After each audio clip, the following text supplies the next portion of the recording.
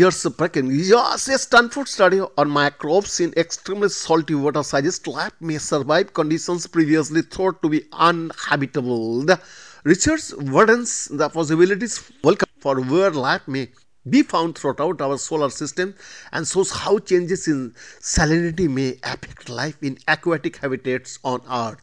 New research led by Stanford University scientists predicts life can persist in extremely salty environments beyond the limit previously thought possible.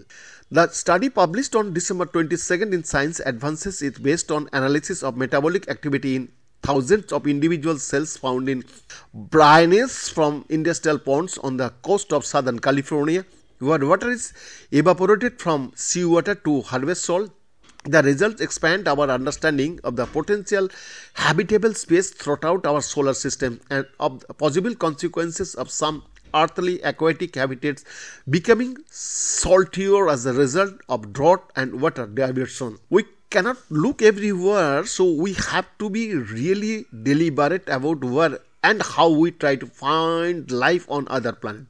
Senior study author Anne Dekas, an assistant professor of Earth System Science in the Stanford Doerr School of Sustainability, having as much information as we can about where how life survives in extreme environments on Earth allows us to prioritize targets for life detections missions elsewhere and increases our chances of success.